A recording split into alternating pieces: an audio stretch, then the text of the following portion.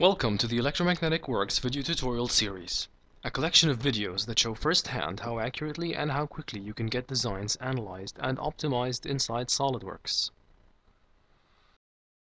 This video will show you how to use our electromechanical simulation package EMS to simulate a coil surrounded by two steel channels inside SOLIDWORKS.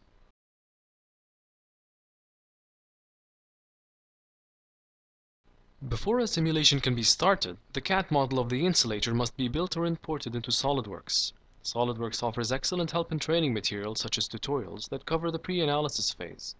We will simply start with a readily built model, which consists of a coil that's surrounded by two steel channels and a steel plate placed in between the channels. Note that there are also two parts that are composed of air that are found in the assembly. One part represents the small air gap placed in between the steel plate and the steel channels. Fields can be strong there. The outer air box is used as an enclosure volume. This part should be made sufficiently large to ensure that fields are small enough at its far edge. This way discontinuities are avoided.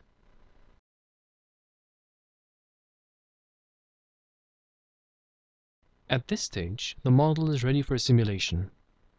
In the EMS tab, you will find the assembly and create the study. A transient magnetic study is required for this analysis by setting the start time, the end time, and the increment of each time step. The transient study is defined and ready for inputs.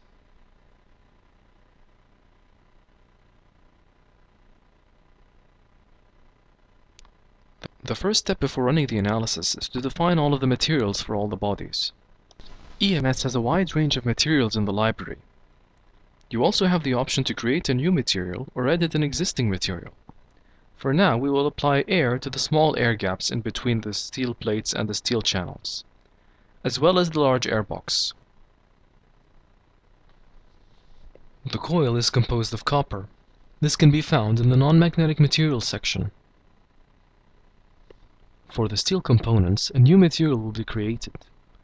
By creating a new folder and selecting the Create Edit Material button, you can create a new material by entering its name and all of its electric parameters. These include the permeability, the permittivity, the conductivity, as well as other properties. With the material now created, you can apply it on any body just as you would with any existing materials in the library. And now that all of the materials have been assigned, a blue checkmark appears next to the solids icon.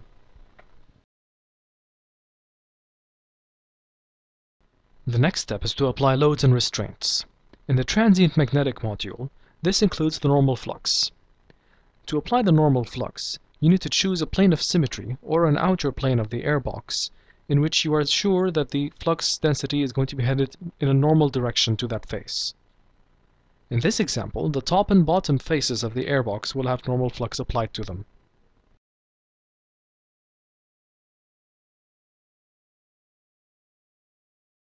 The next step is to apply coils, either a solid coil or a wound coil with multiple turns. This example has a wound coil. By selecting the body and the direction of the current, you would have the coil set. Choose the entry face as well as the exit face of the current. In symmetry models, you would normally choose the exit face. However, since this is a full model, you select the same face as that of entry. Then you apply the number of turns, and then specify the current. In the transient magnetic module, the current is set as a function of time. You can either open a current time curve as a text file, or you can create one from scratch in the curve data box. You can modify the current data by inserting or deleting rows.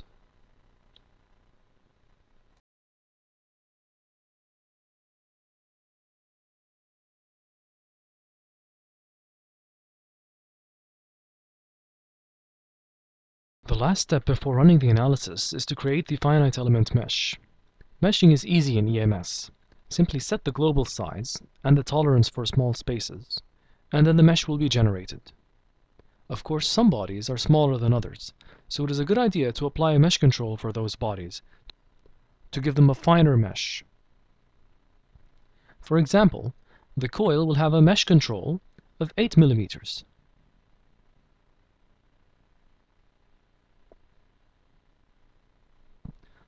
The steel components will also have a mesh control. This will be much finer than that of the coil, 1.1 millimeters. More importantly, the small air gap will need a mesh control. This mesh control will be 2 tenths of a millimeter. All bodies that do not have a mesh control, in this example the outer air box, will follow the global mesh size. In this case, 40 millimeters will be the element size, and the tolerance will be 5 one hundredths of a millimeter.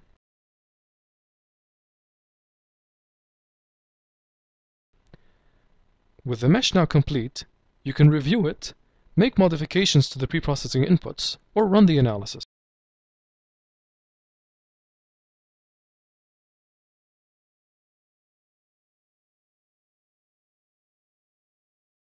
With the study complete, you can view a wide range of results, either numerically or in plots in either 3D or in 2D. The numerical results can be defined in a report where you can select or deselect certain types of results for publication, and you can produce the report in HTML or Word document format. The results table displays the inductance, the flux linkage, the power and the energy at each time step. The plot results of the transient magnetic study include the magnetic flux density, the magnetic field, the applied current, the eddy current, and the force density. They can be viewed in continuous 3D plots or in vector plots. Each time step has its own set of plots.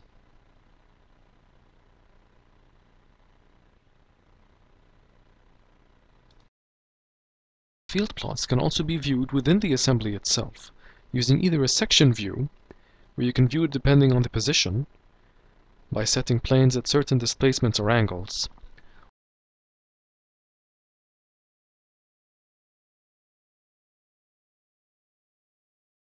or you can view them using an isoclip, which will depend on the magnitude rather than the position.